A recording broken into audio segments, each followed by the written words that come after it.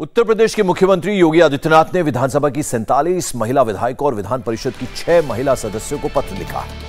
दोनों सदनों की सभी महिला सदस्यों को लिखे इस पत्र में मुख्यमंत्री ने महिलाओं की सुरक्षा, सम्मान एवं स्वावलंबन के प्रति अपनी प्रतिबद्धता दोहराई।